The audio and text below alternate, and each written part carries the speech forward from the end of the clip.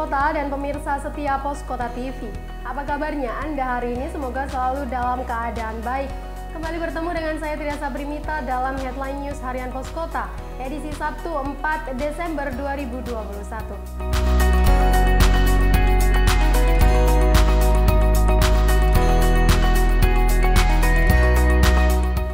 Kita awali dengan berita yang pertama. Bus Transjakarta yang menabrak separator di depan Ratu Plaza Jakarta Pusat diduga lantaran botol terjatuh hingga menimpa pedal gas. Hal itu diungkapkan Ade Setiono, sopir bus Transjakarta yang terlibat kecelakaan tunggal hingga menyebabkan bagian depan bus ringsek. Sebelum kecelakaan, bus melaju dari arah selatan menuju arah utara. Sementara itu pemirsa Kasih Lantas Polda Metro Jaya Komisaris Eko Setio Budi menyebut kecelakaan terjadi karena pengemudi tidak hati-hati. Meski kondisi bagian depan bus ringsek, namun dirinya memastikan tidak ada korban jiwa dalam peristiwa tersebut.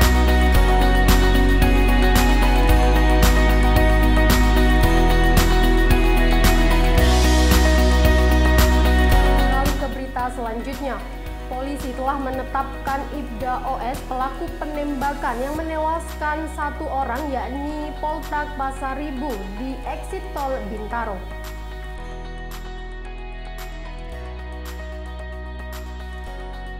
Kasus penembakan tersebut memang masih terus bergulir dan menyita perhatian halayak. Terbaru berdasarkan sumber pos kota menyebutkan bahwa staf khusus Ketua DPRD DKI berinisial O menghilang. Sejumlah teman yang bersangkutan mengaku tak melihat O di kantornya selama beberapa hari terakhir ini. Adapun perempuan yang dibawa O dari hotel di Sentul dan diturunkan di Jalan Margonda Depok juga masih misterius. Sementara Kabid Humas Polda Metro Jaya, Kombes Endra Zulpan menyebut hingga kini pihaknya masih belum menetapkan Ibda OS sebagai tersangka.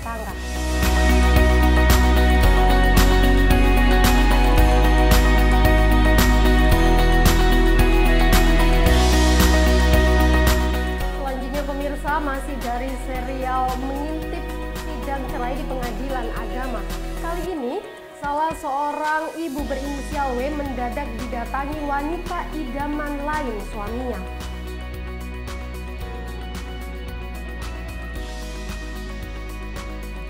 Raut tegar begitu terlihat jelas dari wajah ibu satu anak itu saat menanti jadwal sidang cerai di Pengadilan Agama 1A Kota Bekasi. W datang ditemani putrinya berusia 18 tahun tanpa seorang pengacara untuk mendampingi dirinya selama sidang lantaran terkendala biaya.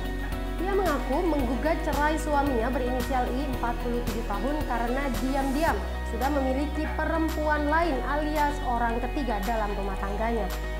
Bahkan yang menyakitkan lagi ialah suaminya menjalin hubungan dengan wanita idaman lain sejak 2018 lalu.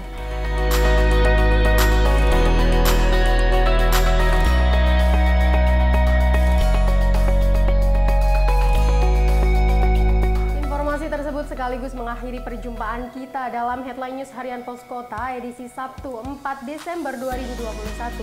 Jangan lupa bagi Anda yang ingin mengakses beragam informasi menarik lainnya, bisa langsung kunjungi website kami hanya di www.poskota.co.id. Saya Tria Sabrimita mewakili seluruh redaksi yang bertugas mengucapkan terima kasih, selamat pagi dan selamat berakhir pekan. Tetap jaga kesehatan, sampai jumpa.